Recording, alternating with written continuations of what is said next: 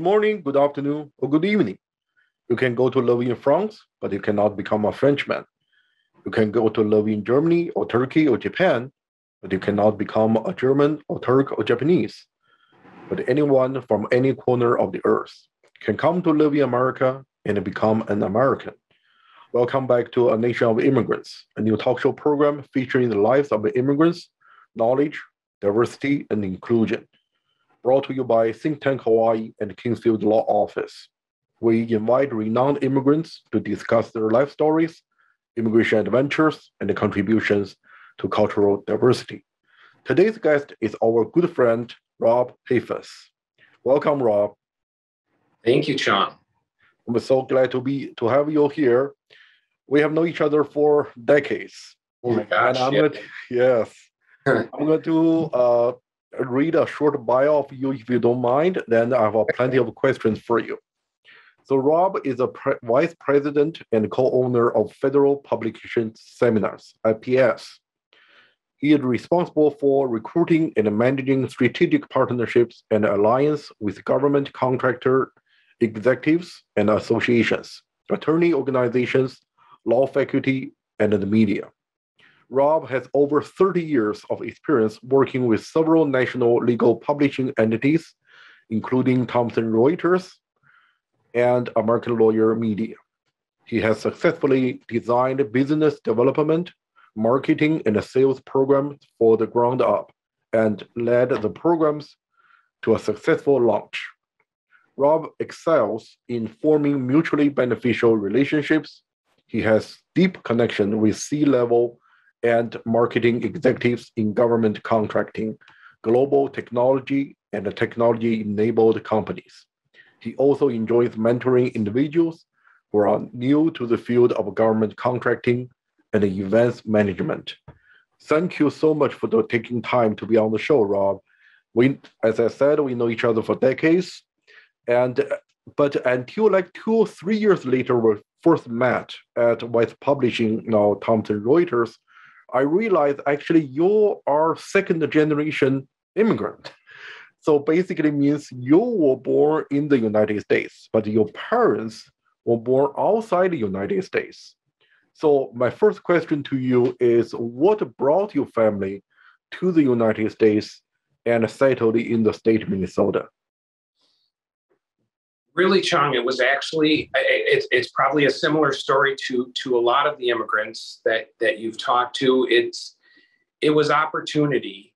Um, my and, and it actually were my grandparents that that came over. Um, mm. Not my parents, just to just to make sure that we're on the same page. Um, and lucky enough, because anyone that knows the history of the Middle East and especially Lebanon, oh, yeah. uh, there's been a lot of war um, throughout the decades, throughout the centuries, actually. And luckily, it wasn't for reasons of war that my grandparents came here. Both my grandfathers came in the early 1900s. Mm-hmm. One of them came through um, Ellis Island. The other did not have the paperwork to come through Ellis Island. So I actually made his way through um, Canada and came to oh. Minnesota. But both had heard of a burgeoning Middle Eastern Lebanese specifically community um, in St. Paul, Minnesota. Um, no relatives, I believe, at the time that they came here were here, but mm-hmm. friends of relatives had directed them to St. Paul, Minnesota. And uh, luckily, both grandparents ended up, you know, around the same part of St. Paul um, together and met, and that is where my parents met. Um, mm-hmm. One's both their fathers uh, in church, of course, which was a, probably a common thing uh, back in those days. Uh, but but both came here for opportunities, completely different backgrounds. One grandfather was educated at the American University in Beirut, and came here as an accountant and had a job working for Armour's Meats. The other grandfather came here um, with not much schooling uh, worked as a cobbler when he first came to St. Paul. And then through various relationships that he formed, um, got into the service industry as far as bars, restaurants, etc. And that's where he made his living. And um, so they came from different backgrounds, but all into this one area of St. Paul, Minnesota. Happened to both be um, part of the same, grew up in the same faith, and and met in the in the same church. Oh, what a beautiful story! Thank you so much for sharing. Mm-hmm. And you are most uh, the the most hardworking people I ever know, and I I trust that your grandparents are very hardworking people. But I'm a little bit surprised, pleasantly surprised, nevertheless, to learn that there are quite a large Lebanese American community in the state of Minnesota, and I I just realized that because I I live like three miles from uh, Lebanon Hills Park. Yes. And is that the park and something related to the Lebanon community? It, I, actually, I don't know, but I do think it's very interesting that um, I have grown up and worked within this probably six mile radius for 55 years. And that has been there, and I I don't know the history of it. I'm sorry to say that. No but, worry about it. I but there is, but but you're right. There is a community here, um, Middle Eastern, Lebanese, Syrian. Um, the church that I go to is they actually used to call it a Syrian Orthodox, but it's actually mm. we call it an Eastern Orthodox church. Um, so the Lebanese Syrian community has been uh, part of this community, the same, really the St. Paul community that I grew up in for over a hundred years. And I think that that's very interesting. So there's a lot of history, um, both uh, economically, religiously, etc. It's absolutely amazing to, to you know, the, the people outside Minnesota, state Minnesota, can hardly imagine that we have a very strong Lebanese Syrian community, Somali community, Tibetan community, Hmong community is absolutely just amazing for the in the middle of the heartland of the United States. But now I'm asking you, since you have a pretty strong cultural background, and even you are not the first generation immigrant, and but I want to ask you what what it was it like when you grew up in the state of Minnesota in the center of the Midwest, mm-hmm. but you do have a strong cultural background of your family. And what language did you speak when you grew up? Only English? It, it really was English. There was a little bit of Arabic spoken when we went to uh, my grandparents' house. Unfortunately, I never got to meet my father's parents, my father's mother mm-hmm. or father. Um, mother passed away before I was born, well before I was born, and my grandfather passed away very close to to when I was born.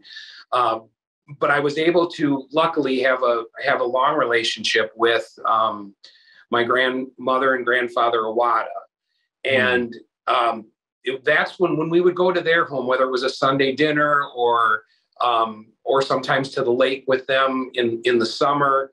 Uh, that's when you would you would my grandfather spoke very broken english so there was a lot of arabic speaking going on mm-hmm. a lot of arabic speaking between him and my grandmother um, my mother did not really understand Arabic that well, even though it was spoken in the home when she was growing up, but my father did.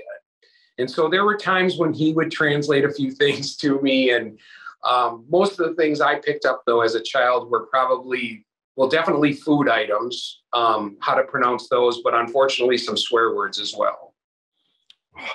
Interesting. Uh, did you identify culturally uh, feel or, did you feel strongly you know affiliated with the uh, lebanese syrian community or you just feel like a regular you know kid in, in the uh, state of minnesota?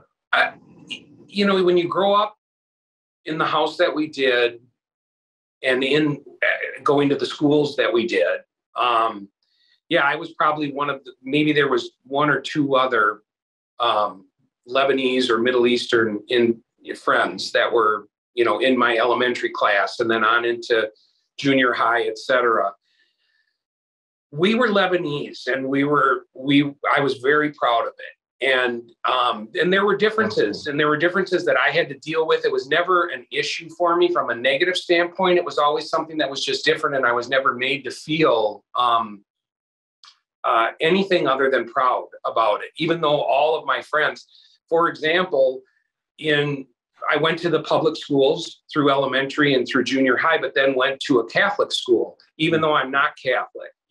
And my religion was different. I'm Eastern Orthodox, as I mentioned earlier. Mm-hmm. The biggest difference was around Easter time. Everyone, we always had a different Easter. We followed a different calendar than the than the Catholic Church. So our Easters were always um, from one to six weeks apart, and then every six years they would be the same. And so I would always have to deal with that. Everyone was getting off of school for Easter throughout my entire life, throughout my my schooling, whether it was you know early early elementary or or through high school. Hmm. Um, everyone had Easter break, Easter vacation, the Monday after Easter off, and that was great. But but only every other every six years did that mean something to me. You know, where oh. it was oh. actually where I was getting off when everyone else got off for for the holiday.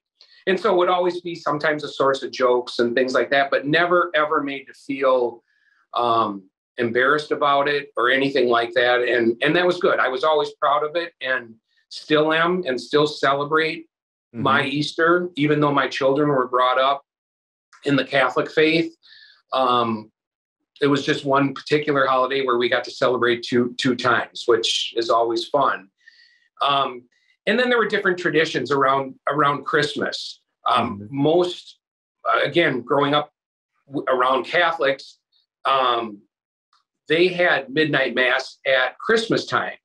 We always had midnight mass at Christmas time and at Easter time. Easter was always the biggest celebration in the Eastern Orthodox Church. That way, not not more than more than Christmas, but held probably as equal to Christmas. And so I was always running out to go to midnight mass, you know, in the spring uh, for our, our Easter or our Good Friday mass as well.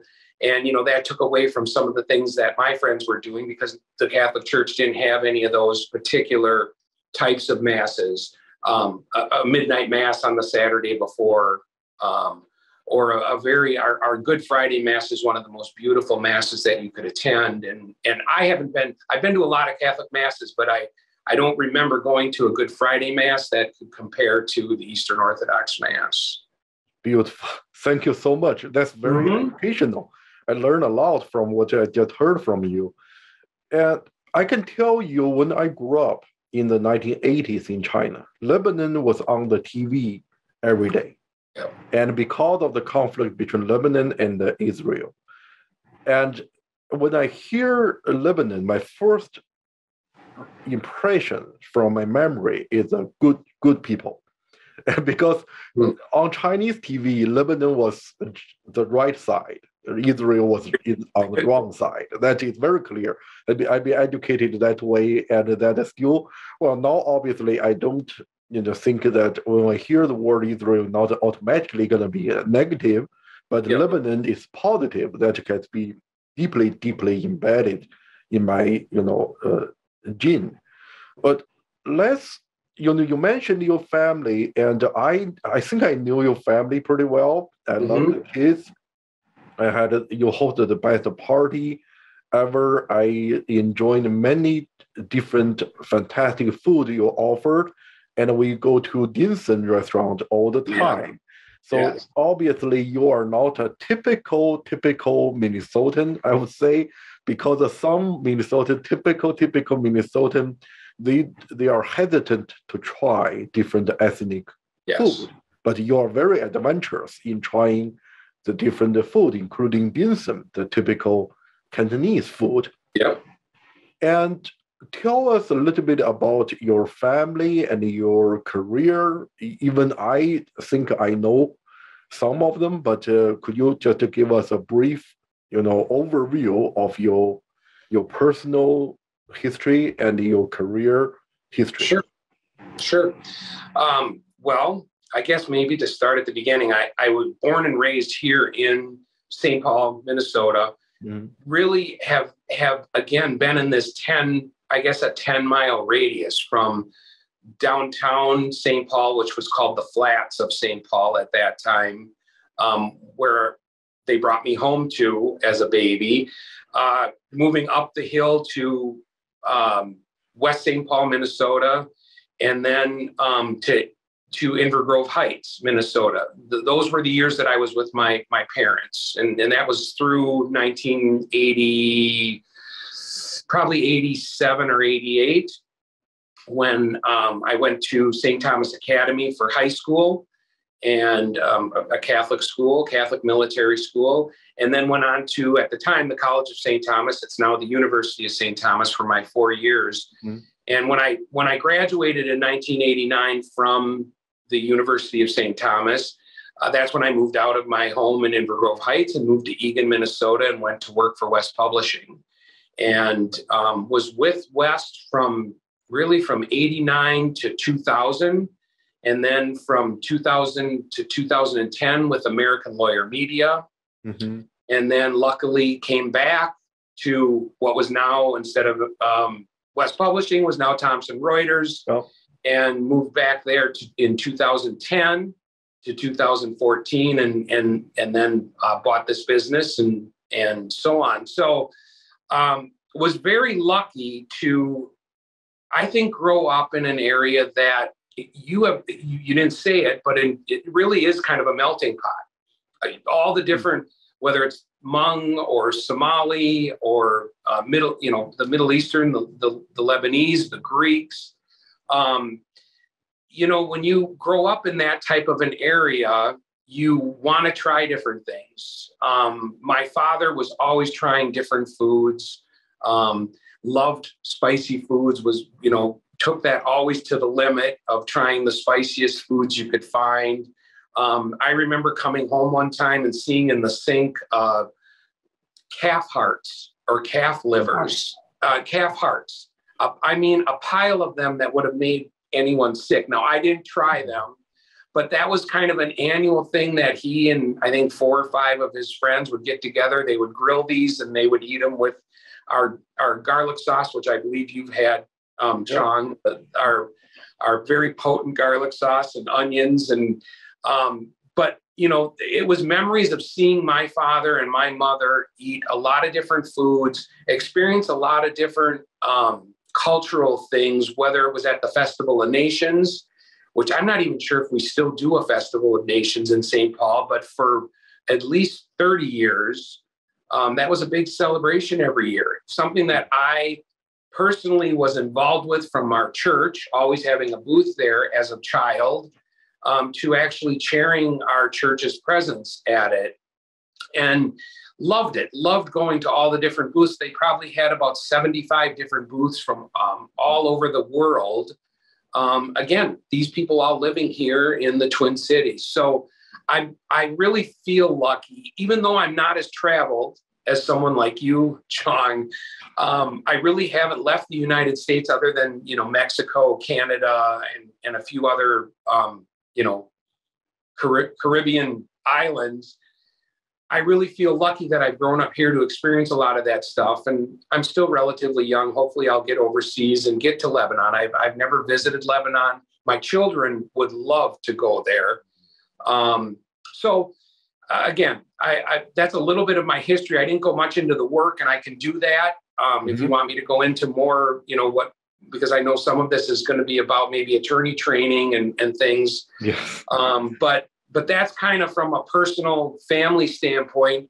Um, you know, my my entire life's been in this ten mile melting pot, um, kind of a ten mile radius. Thank you so much. But I do mm-hmm. want a quick comment. You mentioned that I'm uh, I traveled uh, uh, mm-hmm. a little bit more than you do, but you are a global thinker as well. You're you have a global mindset, and uh, you know no matter it doesn't matter how many how many countries you have traveled. People can yep. still can be very close minded if they don't see and don't feel, and and it's amazing you call our state a melting pot. I think that out of staters will be surprised to hear that, but I couldn't agree with you more. And Minnesota is unique, and it's an open-minded and a place extremely culturally diverse and a tolerance. That's the most important thing for yep. all of us to understand. You know, the Minnesotan. We have a very high degree of empathy toward other human beings. anyway, now we need to uh, uh, change the subject to a little bit serious topic like uh, uh, career. And you, I remember, I vividly remember the day you bought Federal Publication Seminars. And, uh, you know, our friends are, and including myself, are so excited for you. But uh, we had uh, this question, and that would be tough job. But a few years later, you did an amazing job, and you grow the and you and your colleagues grow the company to a size that was quite unthinkable when, and uh, when it was just a, a department yeah. in a big corporation. Now it's a fully independent, it's a leader in government contracting, training, it's uh, got a superb reputation as offer a very full range of courses to federal contractors, lawyers, and uh, all legal professionals.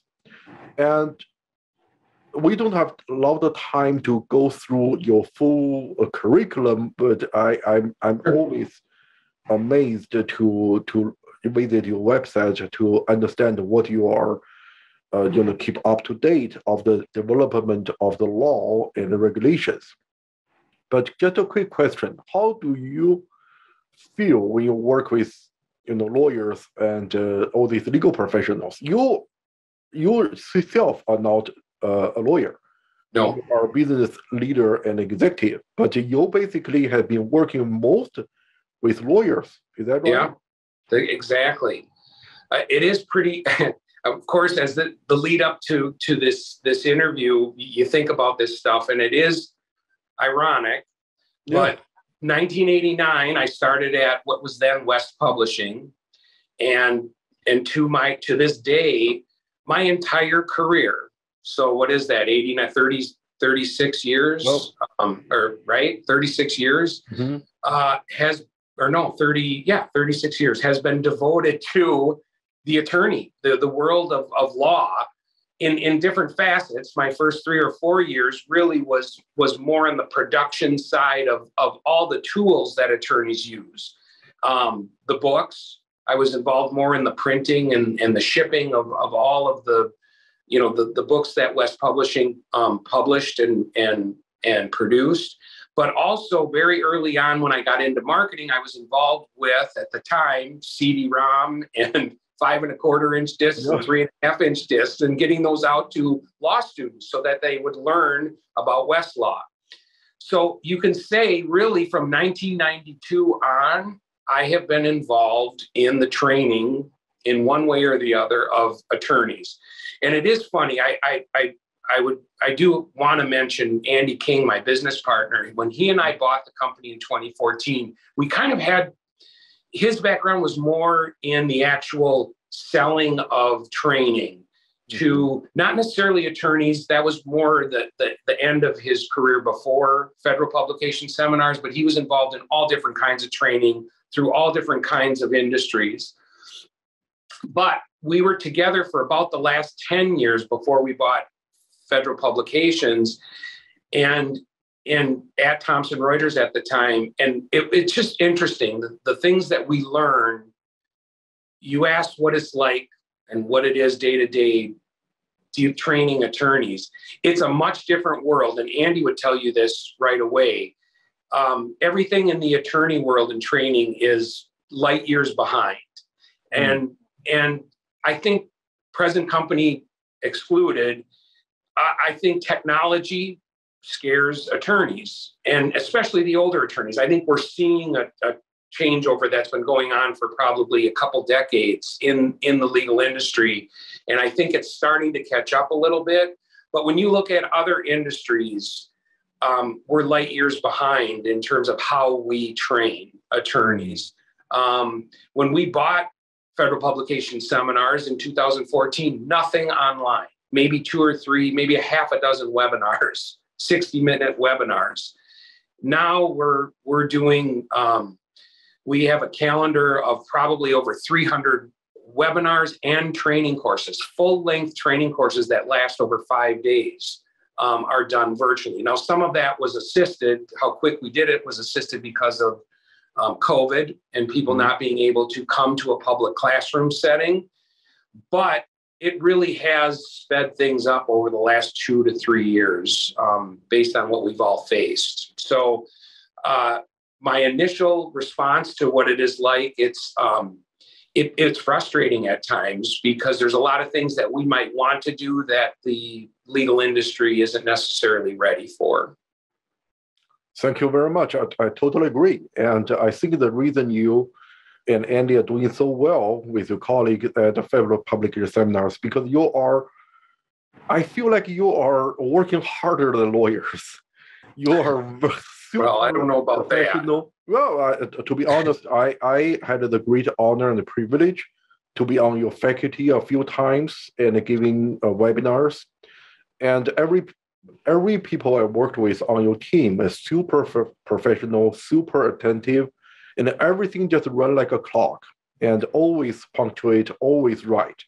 There's uh, no surprise, and I thoroughly enjoy it. And I wish you all the best with your team and uh, federal publication seminars. And uh, it, it's just a great company. You're, you're, you know. Uh, I appreciate that, Chong. So, in ad- if I have a second, in addition to Andy, I really you you bring up a good point. We we have had anywhere over the last eight years at any given time, we have 11 to 15 employees. Wow. Yep. The growth of this company and the success that we've had is not just Andy and me. It's it's in all of them, whether it's people who have just started or people who have been here um, longer than us owning it. Uh, we we brought over some legacy employees with us when mm-hmm. we when we bought it from Thomson Reuters. The one thing that Andy and I think about every time we're doing anything this company is over 65 years old, so it has a rich mm-hmm. history in in educating uh, attorneys, educating companies who do business with the government. Um, we take that very seriously. We have the coat of arms that was um, that that was developed back 65 years ago when this company became a company when it became federal federal publications. We have it here on the wall, and it's a reminder to us of something very serious. We take it very serious. I mean, these are companies who are doing business with our government. Sometimes it's international and dealing with other countries, mm-hmm. and um, we help them to stay compliant and and and, and follow the law. So we're we're very happy and excited about it. Well, thank you for your uh, hard work to ensure that uh, the federal contractors are completely up to date to the to the law and the regulations.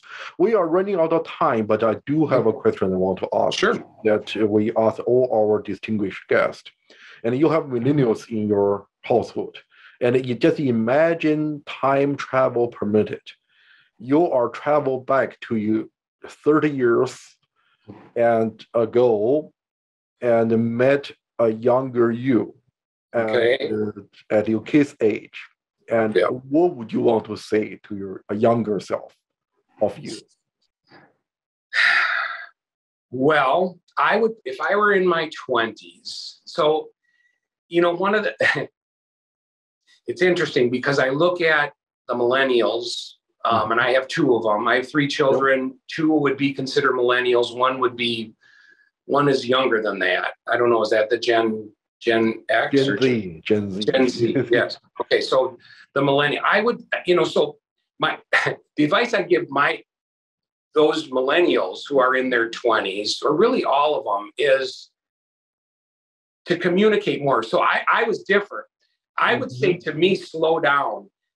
There was no rush in doing a lot of the things that I wanted to do right out of college. Slow down, enjoy enjoy the things that I wanted to do. And and and don't ask me what those were because I don't even know that I could tell tell you that. But what I see in in some of these millennials is they have slowed down. Now this is a this is a positive and a negative. Mm-hmm. As an employer of some of these millennials, it's hard because they don't communicate like we communicate. They're not used to being in an office setting like we're used to being in an office setting every day. And I hear this from other owners of companies, from from whether it's restaurants or whether it's accounting firms, large um, top six CPA firms. It's a different world when you get these 20 year olds working for you. They don't want to pick the phone up. They're used to texting. They're used to sending emails. They don't want to just pick up the phone and talk to someone when it could take five minutes to solve a problem rather than sending 20 texts or five emails back and forth.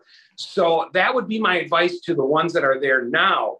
For me, I would have wanted to take a page from the millennials now mm-hmm. to have slowed my life down a little bit, but still kept the communication skills that I have, mm-hmm. that I had then and I have now. And I am doing the job of teaching my three children who are at dif- differing ages, of course. They're all within about 12, 12 years apart. I'm trying to teach them, and they're going to probably see this when this airs. I'm trying to teach them as much as possible to communicate.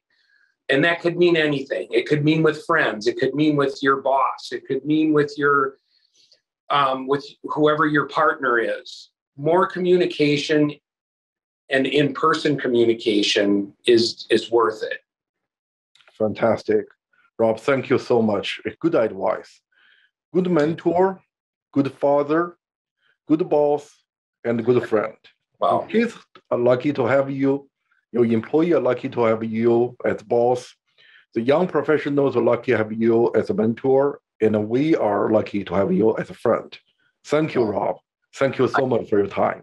Thank you. Thank you very much. I've enjoyed this, Chang. I appreciate it, and um, I'll look forward to seeing it. Yes, it will be uh, broadcasted shortly. Okay. Thank you again for your time and look forward to having you back on the show and let's continue our discussion. Thank you. Aloha.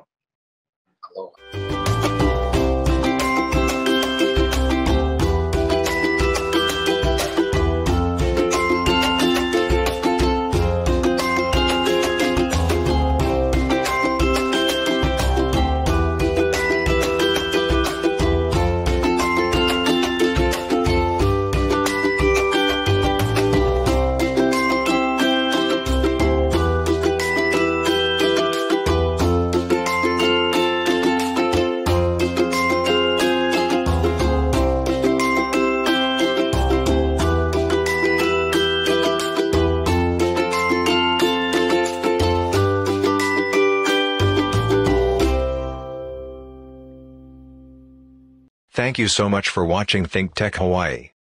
If you like what we do, please like us and click the subscribe button on YouTube and the follow button on Vimeo.